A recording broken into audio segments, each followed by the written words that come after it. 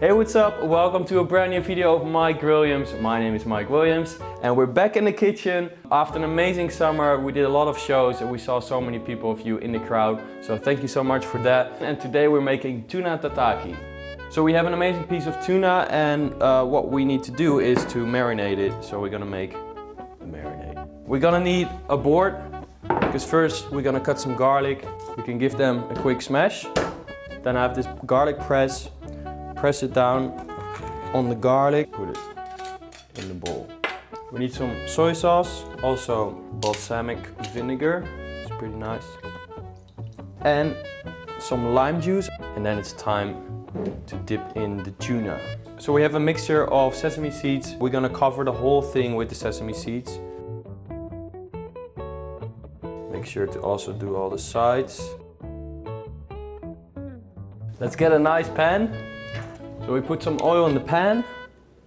And then we're gonna lay it on top. You can hear it sizzling, so that's a good sign. It's really important to just bake it for a short time because you just only want the edges, you want the inside to be um, soft and raw. Um, so it's only gonna be the edges. So maybe one minute, one and a half minutes on each side.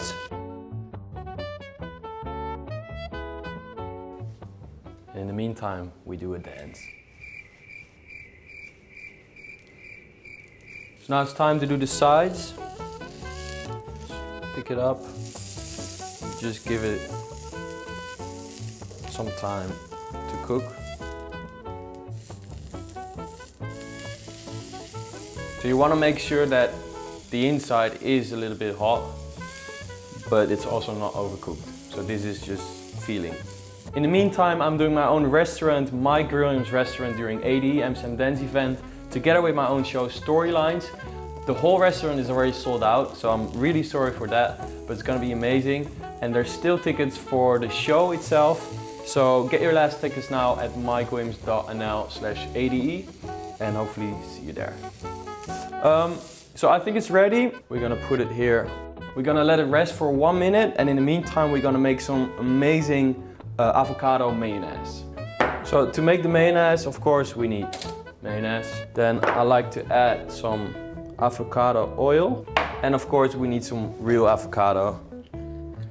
Blend it with the mayonnaise. Then let's add a little bit of lime as well. It's time to cut the tuna. Make sure you have a sharp knife and just cut like small slices. They have to be a little bit thin, but also not too thin. As you can see, the sides are cooked. The inside is still nice and pink. And then it's time to add the avocado. Drop the avocado here. Give it a nice push. So we're gonna cut the onions really small. Like that. Then it's nice to have some seaweed. I love seaweed and it's really good combination with the fish we have here Like here so people can dip it in.